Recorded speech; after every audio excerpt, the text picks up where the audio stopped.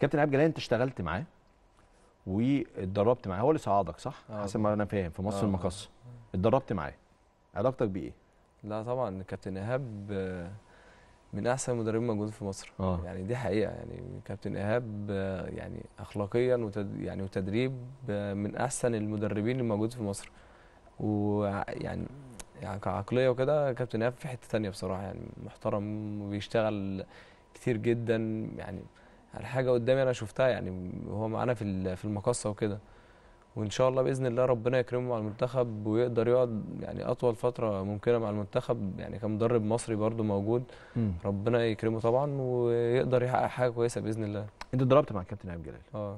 إيه الحاجات اللي عند الكابتن إيهاب جلال؟ إيه التريكات اللي عند الكابتن جلال؟ إحنا مثلا وإحنا بنتفرج على الكابتن إيهاب جلال نقول الراجل بيحب يبني من تحت الراجل بيحب المدافع اللي عنده كورة. يعني الحاجات اللي إحنا فاهمين أو اللي قدام عينينا انت راجل اتدربت معاه. إيه اللي بيميز الكابتن إيهاب جلال لا الكابتن؟ إيهاب برضه بيشتغل زي ما قلت لك مثلا مستر كروش برضه بيشتغل على التفصيلات الصغيرة الكابتن إيهاب برضه بيشتغل على التفصيلات الصغيرة جدا مم. زي إيه من تحت لقدام الكابتن إيهاب مثلا بيحب system معين الفرقة مم. تمشي عليه مم. حد بيخرج بره ال system ده طبعا بيخرج بره. الفرقة آه طبعا آه.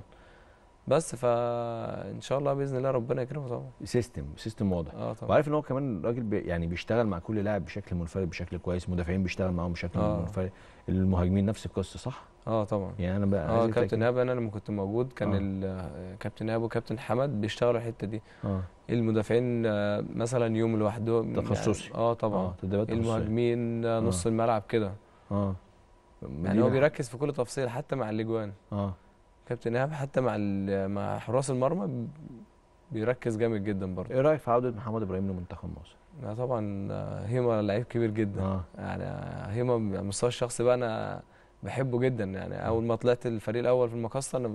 أوضة واحدة طول السنة. فهيما بإذن الله يعني ده مكانه الطبيعي. خلي بالك م- يعني مش يرجع المنتخب هيما دي مفاجأة. لا محمد إبراهيم ده مكانه الطبيعي و... آه.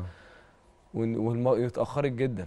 اتأخرت اتأخرت جدا طبعا آه. محمد إبراهيم بقاله موسمين عامل موسمين كويس جدا وإن شاء الله بإذن الله يا رب مع المنتخب يأدي بصورة كويسة جدا وإن شاء. الله السنين الجاية محمد إبراهيم في حتة ثانية بإذن الله ها يعني أنا أنا أنا معاك على فكرة في الرأي اللي أنت قلته محمد إبراهيم يعني مش مشاركته بس مع منتخب مصر تأخرت النجومية يعني النجومية طبعا. محمد إبراهيم هو حق محمد إبراهيم يبقى في مكانة. أكبر من كده بكتير. الله أعلم هو كان تقصير منه في بعض الأمور تقصير من الأمور ال- الأندية أو أي ظروف خارجية أثرت على مشواره ده طبعا. بس هو أكيد لعيب كبير. طبعا. أكيد لعيب كبير. ومميز جدا. طيب.